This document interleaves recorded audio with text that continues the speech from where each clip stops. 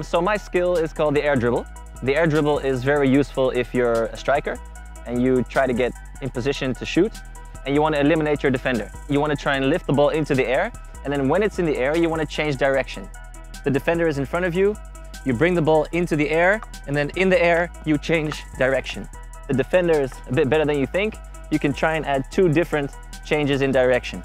Really hard to defend and very useful as a striker.